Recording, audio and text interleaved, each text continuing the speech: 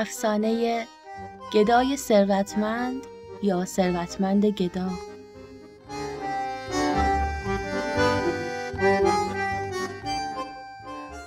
روزی بود و روزگاری تاجری بود. یک روز نشسته بود در اتاق تجارتش دید دختری آمد در حجره ایستاد و بنا کرد به سوال و طلب کردن. تاجر سر را بلند کرد. دید دختری است با لباسهای پاره پاره ولی صورتی دارد که نقاش چین هم به آن خوبی از عهده نقشش بر نمی آید. همین که چشمش به دختر افتاد یک دل نه صد دل عاشقش شد و یک پول زیادی به او داد. دختر پولها را گرفت و رفت. دو سه روزی از این جریان گذشت. تاجر دید ابدا دلش قرار نمی‌گیرد و روز به روز عشقش نسبت به دختر زیادتر می شود. یک روز متفکر نشسته بود و پیش خودش فکر می کرد که آیا می شود من یک بار دیگر روی همچون ماه این دختر را ببینم؟ که ناقافل دید صدای دختر بلند شد. سر را بلند کرد و دید بله خودش است. همین که آن جمال دلارا را دید بنا کرد زبان نصیحت به دختر گشودن که گدایی بد است و در ضمن به او فهمان که من خواهان تو هستم. دختر جواب داد که من پدر و مادر دارم.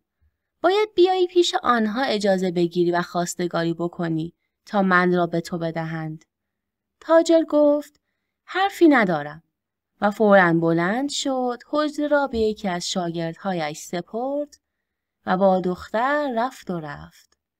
تا رسیدند پای یک کوهی.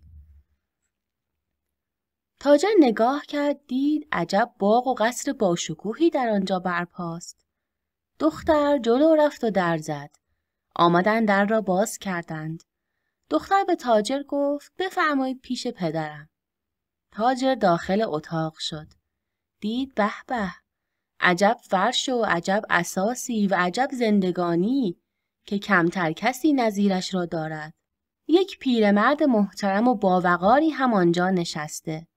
تاجر سلام کرد. پیر جواب داد و تواضع کرد و تاجر را گفت بفرمایید. تاجر نشست و پس از تواضعی بسیار به پیر گفت راستش این است که من خواهان دختر شما هستم و امیدوارم که مرا به چشم فرزندی نگاه بکنید و به اولادی خودتان قبول بفرمایید. پیرمرد گفت اگر شما شرط می کنید که تاجری خودتان را زمین بگذارید و کسب و پیشه ما را پیش بگیرید البته من با کمال افتخار دخترم را به شما می دهم. تاجر گفت کسب شما چیست؟ پیر گفت لازم است یک چند روزی اینجا بمانید تا کسب ما را ببینید. تاجر قبول کرد. بعد دید پیرمرد زن خودش را صدا زد و آمد و سلام و تعارف کرد. تاجر دید به عجب زن خوب و باوقاری است و از سر تا پایش دارای لباسهای بسیار عالی و طلا و جواهرهای خیلی قیمتی است. پس از سلام و های بسیار که از طرفین شد، پیرمرد رو کرد به او و گفت برو کیسه طلا و لباسهای مرا بیاور. زن رفت و طولی نکشید، برگشت لباسها را داد دست پیرمرد با کیسه طلا. پیرمرد بلند شد، آن لباسهای خودش را کند و این لباسهای کهنه را پوشید و به تاجر گفت حالا بیا همراه من تا طرز کسب و کار ما را ببینی. تاجر همراه او رفت تا رسیدند به شهر و پیرمرد همه جا رفت تا رسید به مسجدی. داخل مسجد شد و در آنجا بنای گریه و شیون و زاری را گذاشت. مردم جمع شدند او را بردن نزد آقا. آقا به او گفت ای مرد تو را چه می شود؟ پیرمرد گفت ای آقا من مردی فقیر و ایالوارم. امروز آمدم در شهر تا یک لغمه نانی پیدا کنم و برای زن و بچم ببرم.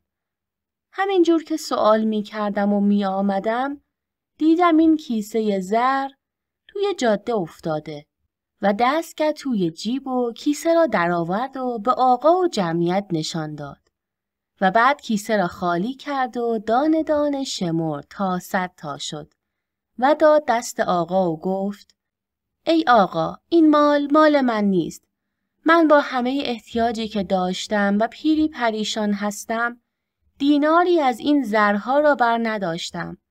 و آوردم یک سر خدمت شما که مال هر کس هست بیاید نشانی بدهد و مال خود را بگیرد. بعد بنا کرد به گریه کردن که ولی امروز چیزی گیر خودم نیامده است. شما را به خدا به این جمعیت بفرمایید که پولی برای من جمع کنند و از من درمانده یک دستگیری درستی بکنند که من پیرم و همه روزه قوه گشت و گدایی ندارم. مردم و آقا که دیدن چنین مرد محتاجی چنین دیانتی را از خودش بروز داده است خیلی خوششان آمد و آقا رو به مردم کرد و گفت ای مسلمانان ای مؤمنین امروز هر کس از این مرد پیر فقیر درستکار و دیندار دستگیری بکند خدا در دو دنیا یکی را صد تا عوضش می دهد. مردم ریختن پیش و هر کدام به فراخور قوه خودشان پولی به او دادند. به طوری که توبره مرد پیر پر از پول سیاه و سفید و متجاوز از پنجاه تومان شد. از آن طرف بشنوید که زن پیرمرد پس از حرکت پیر چادر خیلی پارهی بر سر و لباس مندرسی بر تن کرد و یک سر آمد توی مسجد که وضع کاسبی امروز شوهرش را ببیند و همین که پیرمرد پولها را خوب جمع کرد هر سه نفری راه افتادند و از مسجد بیرون آمدند و یک سر به طرف منزل خودشان رفتند و پیرمرد و زنش لباسهای خودشان را کندند و لباسهای نوع عالی پوشیدند. بعد پیرمرد رو کرد به تاجر و گفت این است طریق پول پیدا کردن ما. تاجر گفت این چه کاسبی است که همش ضرر است. پیر گفت فردا باقیش را که دیدی آن وقت می‌فهمی که همش نفع است.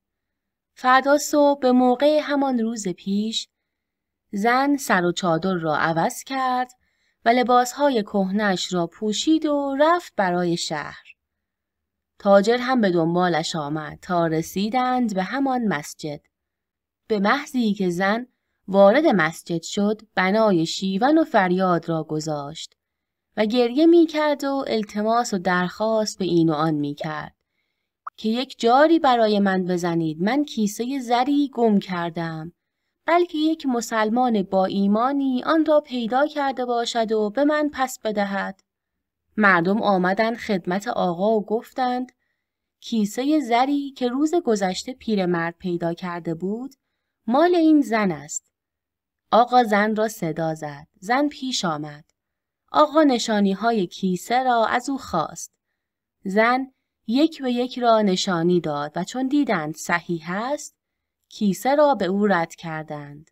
زن کیسه را گرفت و گفت ای آقا تو دانی و روز قیامت من یک زن مشاته هستم. خیلی فقیر و بیچارم. می‌روم از اینجا و آنجا یک طلا یا لیره پیدا می کنم و آریه می گیرم و می‌زنم به سر و بر عروس تا یک لغمنان پیدا کنم و با بر و بچه هایم بخوریم. دیروز در آن بینی که راه می رفتیم این کیسه زر زیر بغلم بود. افتاد و من حالا از دیروز تا کنون همش دور این شهر می گشتم و گریه و زاری می کردم و از مردم به التماس و درخواست جویای این کیسه می شدم و تا حالا قوت به دهانم نرسیده و از بر بچه های خودم هیچ خبری ندارم که دیشب چه به روزگارشان آمده است. برای رضای خدا و رسول بفرمایید این مردم به من چیزی بدهند. این را گفت و بنا کرد های های گریه کردند. آقا و مردم را دل به حال او بسوخت و هر یک پولی روی هم گذاشتند و 20 تومان شد. آقا تمامی آن پولها را داد به زن و زن خوشحالی کنان از مسجد بیرون رفت و در بیرون مسجد به تاجر گفت ای آقای تاجر باشی حالا ببین تجارت من که یک نفر زن هستم بیشتر کار می کند یا تجارت تو حالا بیا و ترک تجارت خودت را بکن و پیشه ما را در پیش گیر تا دخترم را هم به تو بدهم. تاجر گفت به چشم و دل اطاعت می کنم و یک سر رفت به طرف منزل خودش و فریاد بلند کرد که من ورشکست شدم. اقوام و کسانش دورش جمع شدند و پولی روی هم گذاشتند و یک دو هزار تومانی به او دادند و گفتند حالا برو دوباره مشغول کاسبی خودت باش. تاجر پولها را گرفت و چند روزی رفت پشت حجرش نشست و باز دید دلش قرار و آرام ندارد. اساسی حجره و هرچه مال و تجاره داشت تماما فروخت و رفت پیش دختر. خیشان تاجر دیدند ابدا سمر ندارد و این مرد دست و دلش از کاسبی سیر و سر در هوا شده است. دیگر دنبال او بلند نشدند و به کار او توجهی نکردند. و بعدها هم که فهمیدند عاشق دختر گدایی است اصلا اسمش را هم نبردند. باری تاجر رفت در خانه پدر دختر و دختر را خواستگاری کرد. پیر گفت همانطوری که گفتم باید تو هم پیشه ما را پیش گیری تا من دخترم را به تو بدهم. تاجر گفت حاضرم و از همین امروز شروع می کنم. و همه روزه با پیرمرد یا با زن او می‌رفت و به همان وسایل گدایی می کرد. در این قسمت به قدری مهارت پیدا کرده بود که اتفاقا روزی رفت در حمام و داخل نور کشخانه شد. دید مردی مشغول نور کشیدن است. بی اختیار دست را دراز کرد و گفت آهای تو را به خدا یک خورده نوره آن مرد سر را پیش آورد که ببیند با وجود آن همه نوره که در آنجاست این کیست که اینقدر روح گدایی در او قوت گرفته که تازه در اینجا هم نوره گدایی می کند. اتفاقا این مرد همان پیرمرد پدر دختر بود که در حمام مشغول نوره کشیدن بود. وقتی که سر را پیش آورد و دید گدای نوره همان مرد تاجر است که در کار خود در چنین فاصله کوتاهی اینطور زبر و زرنگ شده است. پیش آمد و روی او را بوسید و گفت الحق که مرا زنده کردی و من نمردم و جانشین خودم را به چشم خودم دیدم. و پس از آن که از حمام درآمدند یک سر به طرف قصر رفتند و ملایی را احضار کردند و عقد دختر را برای مرد تاجر بستند و چون آن پیر به غیر از این دختر کسی دیگر را نداشت تمامی آن مال و دولت پس از مرگ او به تاجر رسید و دوباره شغل اجدادی و پیشینه خود را در پیش گرفت و با کمال آبرومندی عمر خود را به سر رساند. همراهان عزیز کانال لذت داستان روایتی که شنیدیم روایت عشق و رسیدن به معشوق بود. عشق و رسیدن به معشوق در قصه ها چون و چرا بردار نیست. به همین خاطر عاشق هر شرطی در مقابلش بگذارند برای رسیدن به معشوق انجام میده. در این روایت عاشق که مرد متمول و تاجری بود قبول می‌کنه که گدایی و شیادی پیشه کنه تا به مراد خودش برسه.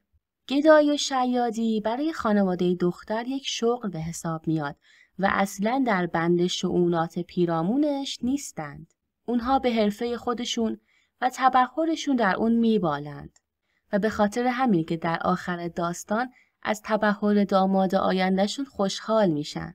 اگرچه خانواده دختر به شن و قدر حرفشون پیش دیگران اهمیتی نمیدن.